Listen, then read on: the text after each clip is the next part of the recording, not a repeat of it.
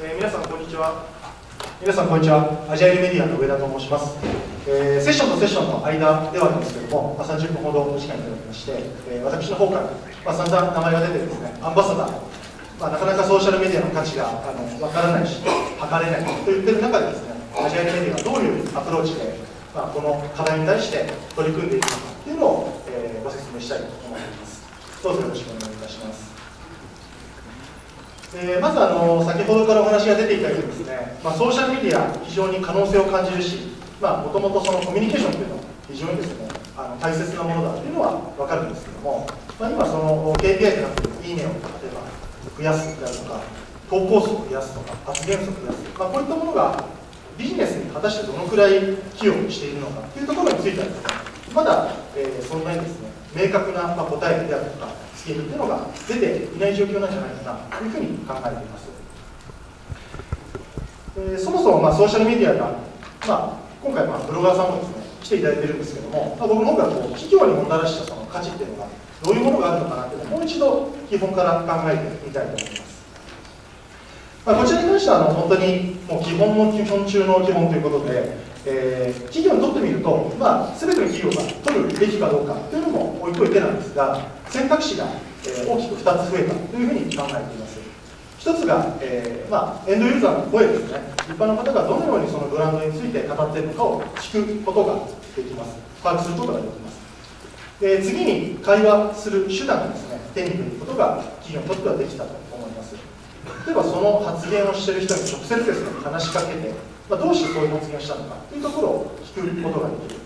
またなぜ我々のブランドがそういったあのデザインなのか歴史なのかということを伝えることもやろうともできます。やるかどうかはまた非常にあのハードルがあるところですね、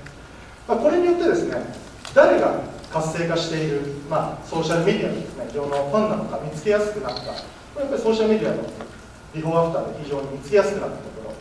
またあの評判形成は今までマスを使って企業メディアが主にやっていたものだと思うんですけれども今もう一般の方も情報発信をするようになってきていますのでファンと一緒にですね評判形成するそんな機会があるんじゃないかというふうに考えています。まあ、そういった考えに至った視点としてですね、まあ、大きく3つほどご紹介させていただきたいんですが、まあ、僕らのソーシャルメディアの専門の、まあ、会社ということで、まあ、やはりあの Facebook の次何来るんですかとかですね、えー、LINE の次何来るんですかみたいな話ってよく、まあ、聞かれるんですけどもやっぱりあのどこで会話をされてるのかとかどのくらいのボリュームなのかというのももちろん、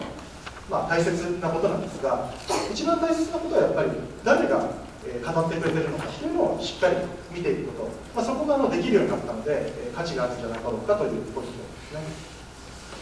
で2つ目の視点としてはあの、まあ、いわゆる影響力の高いインフルエンサーの方々ですねこういった方々あの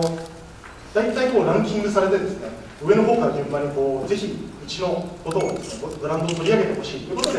例えば発言をしてもらうような取り組みというのは非常に多くて、まあ、我々もそういうところをですねずっとやってきました。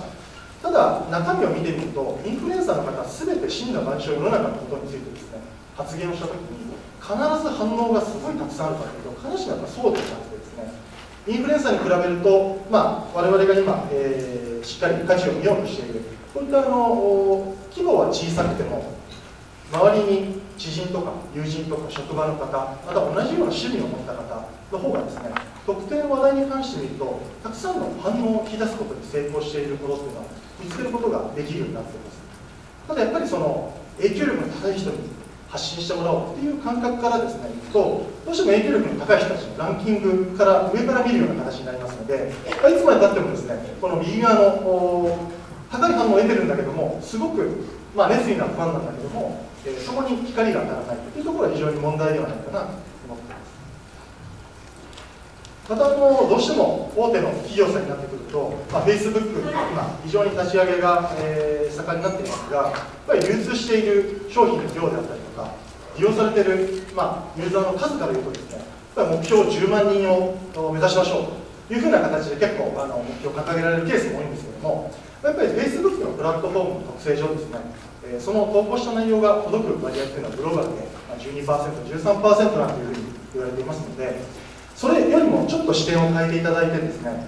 100人に情報を届ける力を持ったですねそういったあの熱意のあるファンの方をですね、えー、1000人抱えるということ、まあ、こういった方を1000人としっかりつながってその方にあのこう届けていただくことで、まあ、10万という単位ですね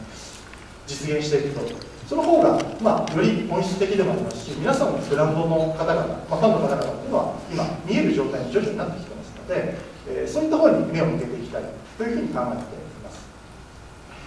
えー、我々としてはあの、まあ、どういう人たちとつながるべきかこれやっぱりいいねをたくさん増やすフォロワーをたくさん増やすではなくてですねやっぱり本当にそのブランドについてですね言及してくれてる人また推奨してくれてる人そういった方々を、まあ、我々はアンバサダーというふうに定義をして彼らとやっぱりその単発のお付き合いではなくてしっかりとリレーションを続けていく継続していくそんなプログラムを提供していきたいというふうに考えています。あの先ほども出ていましたけど、まあ、アンバサダーサイクル、まあ、くるくるこう回していきましょうということで、まあ、実は我々もアカウントを立ててキャンペーンをやって、まあ、終わりとかですね。まあ、場合によってはその活性化のところでブロガーさん向けのイベントをやって終わり、まあ、最初のまあ、セッションで重さんもおっしゃってましたけどもやっぱりその後をどう続けていくのかというところで非常にそのファンになるきっかけを作ってその後どういうふうにこう支援していくのかというところも非常に大切になっていますし、まあ、何かやったら必ずその後ちゃんと分析をして自分たちのブランドにとって本当に大切な人たちについてはですねえー、アンバサダーという形で蓄積をしていくことが大切なんではないかなと思っています、まあ、そういう意味ではあのこのアンバサダーというですねファンよりもさらに自発的に発言をして推奨してくれるような方々を、えー、いかにまあ蓄積をするかということで、まあ、このアンバサダー何かキャンペーンをやるときにですねその仕込みを初期の段階で盛り上げていただける。またあのキャンペーンによってですね可視化されるファンの方たちですね、まあ、極端に言うと CM を見て、まあ、何か発言してくれる方もいるかもしれませんし店頭のポップであったり体験を通じてですね発言してくれる方もいるかもしれません、まあ、そこであの目に見えるようになったファンの声をですねちゃんと分析をして新たなアンバサダーとして蓄積をしていくと。で次のキャンペーンの時にはまずそのアンバサダーからですね安定的に口コミをしていただける方たちを蓄積するというのがやっぱり大切なことなんだろうなと思います。で我々も分析してるとすごく面白いのが、まあ、キャンペーンの時はちゃんとこういうの測るんですけどあのそうじゃない時なかなかあの傾聴っていうのがやってないケースが多いんですがこういう時にもずっと発言し続けてくれてるですね。ファンの方たちってたくさんいらっしゃるんですよね。でじゃあ非需要期だからキャンペーンやってないから反応がないのかというとやっぱりそういった方の利用シーンだったりとかですねオケーション測定みたいなものに周りのお友達が反応してるケースが非常にくさん見受けられますのででこの僕らはアンバサダーという人たちを大切にして右肩上がりでちょっと蓄積して増やしていく。またリレーションすることでちゃんと口コミを上げていただくということが大切になるんじゃないかと考えています、まあ、そういう意味では冒頭に、あのこういったソーシャルメディアの指標って何のためにやるのっていうところなんですけどもまあ、あの個人的にはやっぱり分母だと考えていましてじゃあ分子何なのっていうところなんですけども我々からするとそのアンバサダー本当にさらにいい人たちっていうのはどういった人たちでその人たちを特定するためにこういった、えー、分析するためのですね皆さんのソーシャルメディア上のアクティビティをちゃんと見ていく必要があると考えています。でもちろんその一般のエンドユーザーの方のアクティビティもですねこういったソーシャルメディアで取りやすくなってきた部分だけではなくてもうすでに企業はもちろんですねメールマガジンの登録者過去のキャンペーンイベントの参加者またあの自社の EC サイトアフィリエイトのプログラムに参加していただいている方々。またあのそれ以外にも外ですね。ソーシャルメディア上でちゃんと発言をしてくれている方であるとかまたあのアンケートなんかを通じてリアルで、まあ、そういった推奨行為購買行為というのをしてくれている方これも全て分析の対象になりうると思っています、まあ、我々はこの分子の部分をですねちゃんとあの見つけるための分母としてアンバサダープログラムというのをご提供して、えー、このデータをもとにですねアンバサダーを見つけていきましょうということを、えー、今チャレンジをしています。じゃあ、まあ、今回言っているそのアンバサダーどのようにま分析、えーまあ、発掘をしていくのかというところについてお話しさせていただきます、えー、あの企業によってまたブランド業態業種によってですねアンバサダーのその定義であるとか傾向特徴というのはもちろん異なるんですが、まあ、あの今考えているその基本の3要素としてまずはロイヤリティクオリティ。そしてパワーこの3つの指標を考えていきます。まずあのロイヤリティなんですけどもこれはのブランドロイヤリティであるとか、まあ、売上の貢献価値っていうのはどのくらいあるのかというものを指標としています。例えばあの発言回数であったりとか、えー、購買の有無であったりとかですね推奨行為をちゃんとお友達にお勧めしているかどうか。またあのネットプロモータースコアという、まあ、お友達にお勧めしたいと思いますかというようなところを指標としておりますえー、クオリティに関してはあの発信する情報の質ですね。ものすごい毎日発信してくれてるんだけど、えー、全部ディスってた、まあ、批判してたとかですね。いうケースもなくにしも結構あるんですね。そういう人が結構熱意持ってですね何回もあの非難したりするケースがあるのでちゃんとご自目が見ましょうというところこれも目視であの見ています。であとはやっぱり読み手にちゃんと伝わるかどうか、まあ、これはあのコンテンツとしての質であったりとか、まあ、季節性の高いものであれば検索の受け皿としてやっぱりあのいい記事っていうのは反応が得られやすいということでやっぱりレビューアーとしてのそのものを何か伝える時のですね特性適性というものは、え見ていく必要があるのかなと思っています。で最後にパワーですね、まあ、情報発信者としての影響力がどのくらいあるのかまあ、これもちろんフォロワーの数であるとかお友達どのくらいページビューがあるのか、まあ、こういった指標も非常に大切なんですけれどもあのやはり我々がまあちょっと重視しなきゃいけないのは周囲のユーザーさんからの反応ですね。例えば影響力はそんなにないんだけども同じ趣味を持った方がお友達にたくさんいる場合に特定のブランドの特定のカテゴリーの話題に関してはものすごく反応が得られているというケースが非常に多く見受けられます。ただ影響力からスタートするとこういう人っても全然見つからないというかまず見ようともしないというところが非常に問題になっているので我々はパワーの中にこういったあの反応を引き出す力というのもですね、えー、見ていくと考えています。まあ、これをどのように実現しているのか、まあ、全部あの一個一個見てですねなんかこう採点していくっていうのもあるんですけどもやっぱりそれ僕らもなかなか結構疲弊しちゃうのであのある程度システム化をしております。あのまずあの特定のまあキーワードを通じてですね、まあ、我々のユーザーチャートというさまざ、まなプラットフォームに対応した、えー、サービスを通じて、まあ、特定のブランドに対して研究している方、えー、その人の影響力またその人がどういった発言に対して反応が得られているのかというところをですね収集をします。ただ先ほども申し上げたようにあの中身をちゃんと見なきゃいけないということでですね、えー、反応分析とかその人が、まあ、どのくらいそのブランドの情報を発信する上でアンバサダーの、まあ、基準を満たしているのかみたいなところをですねチェックをする上で目視をしています、まあ、ここはあの非常に辛いところでもあるんですけども楽しいところでもありまして、まあ、場合によっては数千件のブログに目を通したりだとか、まあ、数千件数万件のですねツイッターの発言に目を通して僕らの方で、まあ、システムとこの目視両方で、えー、アンバサダーこの人やっぱりブランドのこと好きだねっていうのをですね見ていくと行っています。またこの候補を抽出するところと、まあ、実際その候補の人たちとですねちゃんと継続的に発言をしてもらうようなきっかけを提供するプログラムをスタートする段階になっていくともともとそのリストアップした方々がですねコミュニケーションした結果ちゃんと発言してくれてるのかまたキャンペーンがない時もですねこういうふうに活動してくれてるねっていうのをやっぱり僕らもしっかり見ていくことで次のコミュニケーションのヒントを得るということができるというふうに考えます。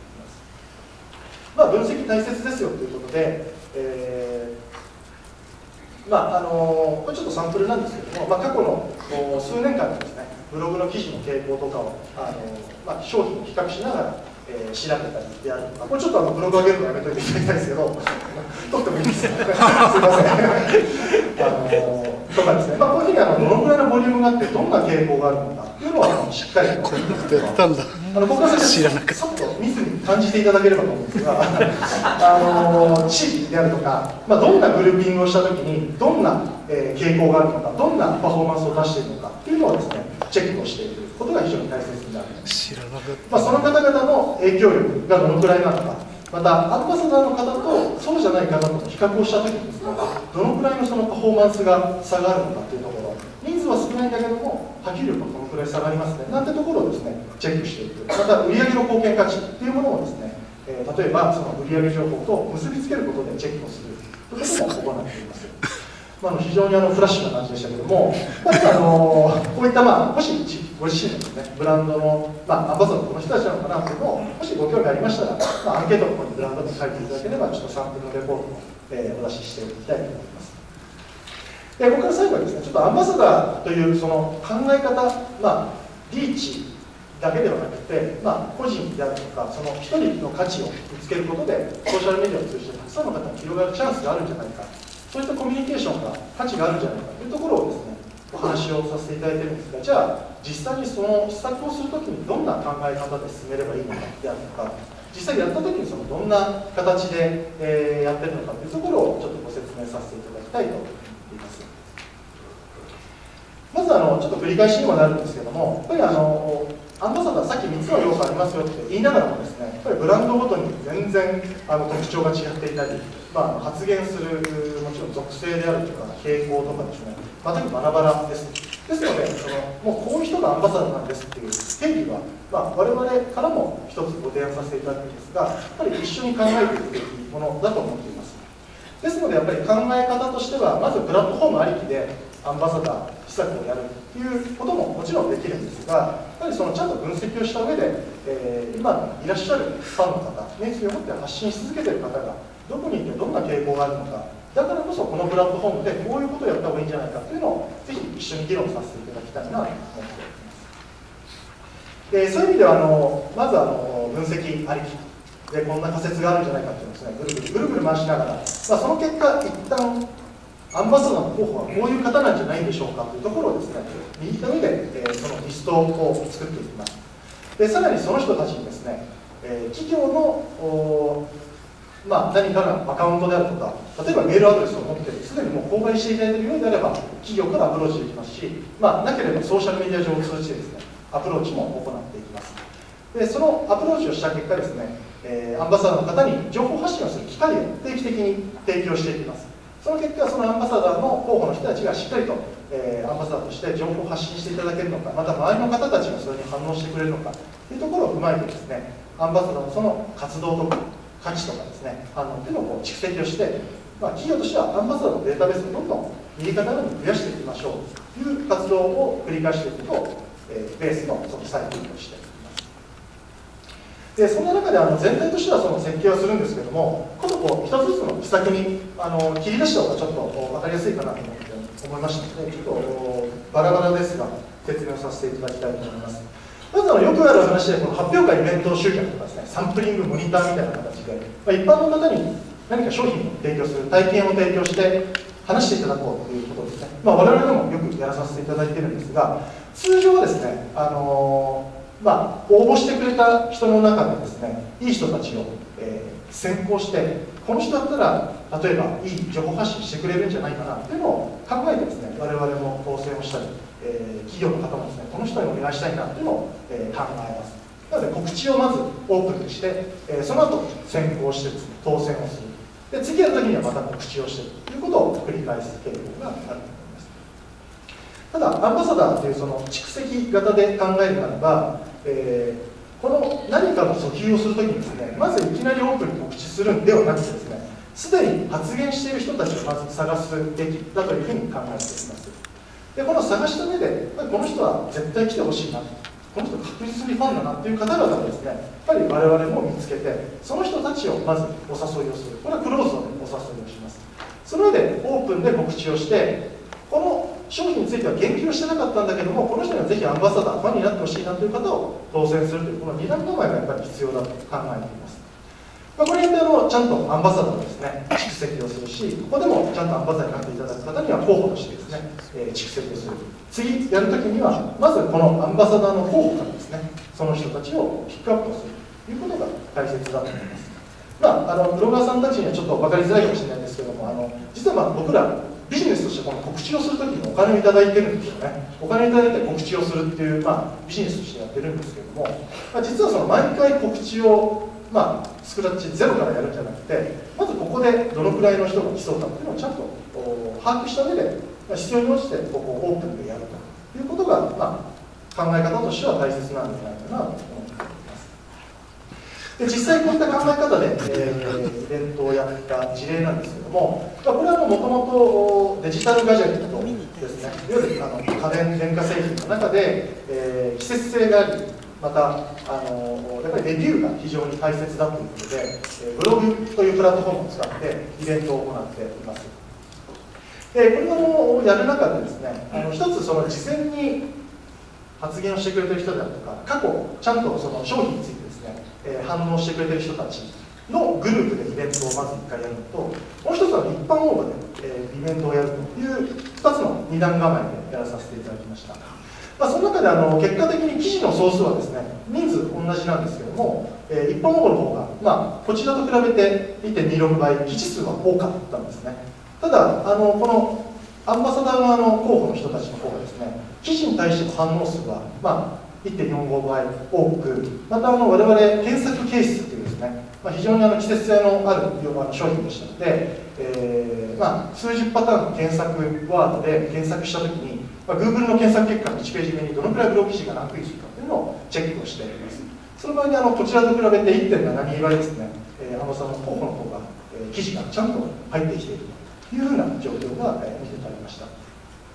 また非常に面白かったのはあのこのアンバサダーの候補の方もですね僕らのところで、まあ、なんかこうストーカーみたいなんですけどあの事前にですね調査をさせていただいて、えー、実はあの前回参加いただいた方のこの A さんですねあのイベントの時にですね前回動画を撮っていただいていてその動画を価格コムにブログとともにアップをされてました。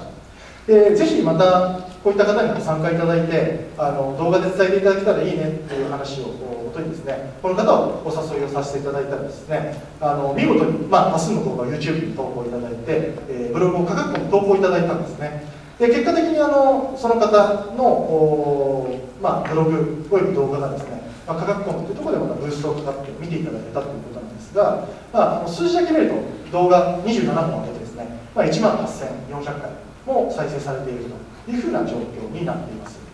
で面白いのがあのこの方すごくたくさん動画をですね撮っていらっしゃるんですけども当然普段からすごい毎回ページビューのジェット大輔さんにはですね多いかともちろんそんなことはないんですね。本当にあのガジェットが好きで、えー、撮ってらっしゃる。ただそういったあの価格コムであるとかそういったものを通じてですねまた検索ニーズをしっかりと捉えることで、えーまあ、この動画の再生回数を大きく伸ばすことが、まあ、企業としては非常に大きな成果としてなっています。まあ、こういったあのちゃんとその属性を見極めることで本当のファンの人たちに熱意を持って伝えていただくことはとっても大切なんだな改めて気づかされた事例となっていますまたあの、まあ、訂正の評価というところも熱意だというところもあるんですけどもやっぱり売り上げにも貢献するべきだということで一つその企業様においては今、えー、自社で EC サイトを持ってたりまたあのアフィリエイトのプログラムを自社で回しているケースというのはあり得るま、あ、その上であの自社のそういったデータベースですね顧客のデータベースもしくはその売り上げに貢献するアフィリエイトのデータベースですね。その方がどんなソーシャルメディアアカウントを持っていてどんな発言をしているのかというものを、えー、付き合わせをしてですねリンクをさせてその活動と傾向分析を、えー、しております。まあ、ある事例の時にはですね結果的にそのブログのアフィリエーターさんの貢献度っていうものがですねいわゆるそのホームページでアフィリエイトをやるものに対して非常にあの制約率が高かったというところが、まあ、分析の結果出てきたということで、えー、3つのグルーピングをしてそれぞれのグループごとにコミュニケーションを変えてアフィリエイトの成果を高めるということを今回しています。まず1つ目のグループですね。あのアフィリエイトの会員になってくれていてかつ発言までしているまあ、この方にはですね非常にあの有益な情報をもっと発信していただこうということでより深いあの座談会みたいなものを回していただきたいというところ。またあの会員にはなってくれてるんだけどなかなかそのブログで記事発信してくれてない。そういった方にはですねまあモニタープログラムを通じてしっかりとまず記事を増やしていただくようなきっかけを作ってその結果売上が増加するのかどうかというところを、えー、パイロット的に見ていくことを行ってい